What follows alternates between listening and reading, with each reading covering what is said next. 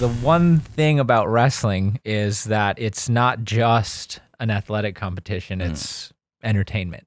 And so, in this entertaining side of it, you can't necessarily always choose your own destiny as you could in a sport like baseball or you know i guess you're still on a team Yeah. you know you're still hinged to whatever the team does but but that sense of uh, athletic accomplishment being directly tied to how successful you are in the sport Mm. Is not obviously the same as other sports in the WWE. So, have you felt, um, I guess, any, have you experienced that in any way? And if so, you know, what have you done or tried to do to, to change Mm.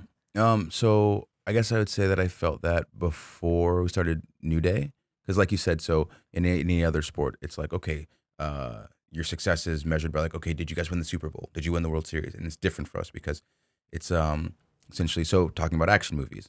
Like if I got a role to be in a Jackie Chan movie and I'm not the star, I'm like bad guy A. Like I'm not mad about that. I'm stoked. Yeah. 'cause I'm part of a Jackie Chan movie. This is dope.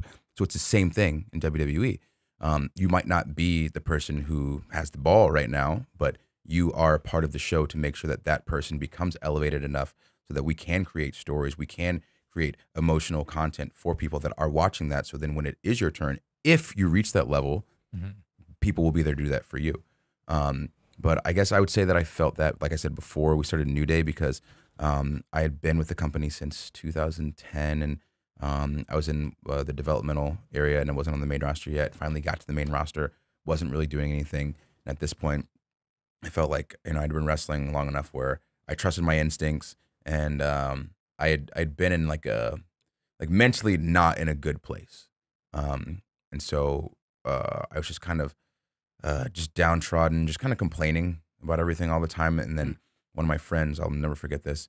He uh, he just told me he's like, you know what, I'm I'm really tired of you complaining about everything.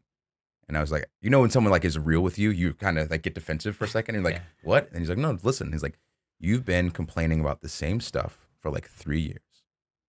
Shut up and do something about it.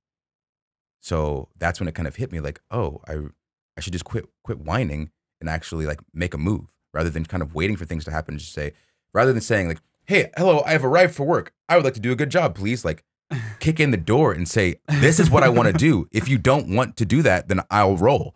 So, um, it's kind of a, a thing of like betting on yourself.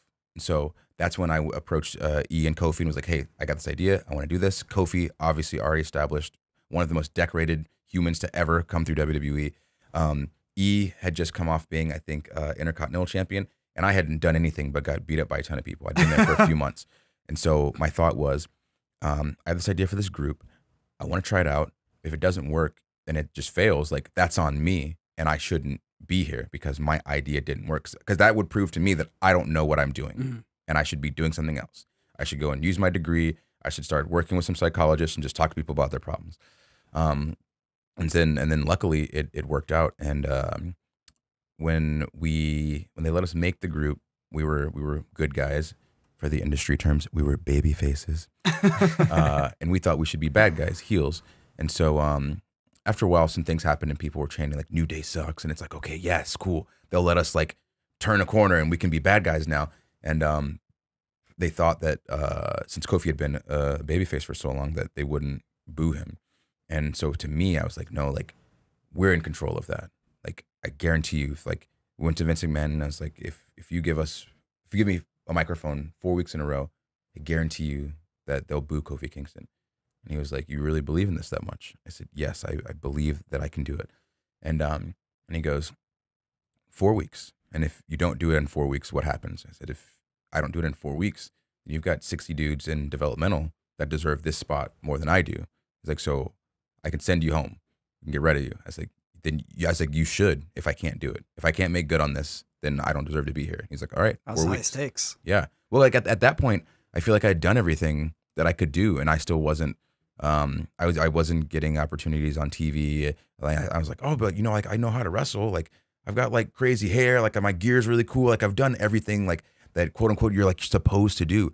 Uh, but you realize that doing what you're supposed to do only gets you so far. Mhm. You you can't go down swinging somebody else's punches. You have to swing your own punches. So like, if it wouldn't have worked, I wouldn't be one of uh, the people who, whether you get fired from like any job, you know how you hear- hear some people get fired and they just complain about the job, and it's like sometimes like when does personal responsibility come into play? Like, what did you do to not advance yourself enough? That's a super powerful mindset to have. Yeah, I feel like it, and like I said, it took me a long time to get there, and it wasn't until my friend kind of kicked me in the face and told me that, and so, uh, so it's like finally did everything, and and uh, like at week three they booed Kofi a little bit, and after that we were we were cool. Like uh, they told us, okay, cool, we you guys are are bad guys now, and we just ran with it, and uh, luckily it worked. It was just like like you said, it was the the ridiculousness level. The ridiculousness level was at an all time high Yeah. because we were just trying to go for like shock and awe and trying to see what we could get away with.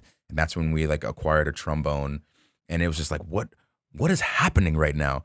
And like I said, we just wanted to be a fever dream. And so uh, luckily we we got the opportunity to do that, but it was because we we quit complaining and just took a risk. Because like I said, if we would have swung this punch and got completely knocked out, then it's like, okay, that's on me. I now know that I'm meant to do something else. Hmm. But I think that sometimes, a lot of times, most of the time, uh, we as humans are, are it's it's a scary thing to do. Yeah. It's, it's a leap of faith, and I think that it's it's it's harder to take a leap of faith in yourself than it is in something or someone else sometimes Yeah. because you realize you you're the only one who can who can own that. You know for the rest of your life like this happened because I made this choice. And so you have to become okay with that before you're able to take that jump.